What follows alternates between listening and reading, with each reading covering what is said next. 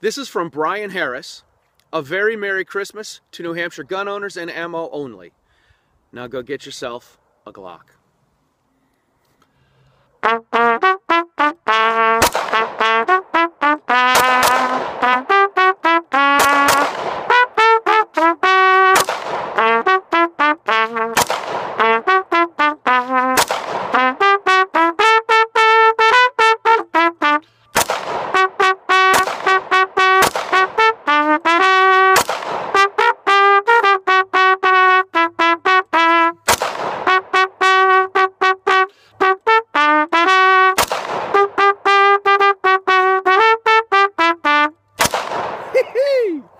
Merry Christmas, everybody.